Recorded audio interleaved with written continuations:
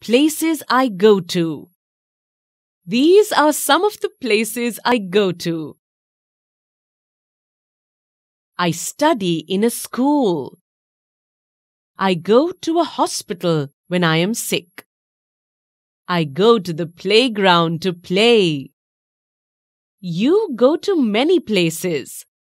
I will show you a few of them. This is a school. We come here to study and also to make friends. This is a hospital. We go here to meet a doctor when we fall sick. This is a playground. We go here to play.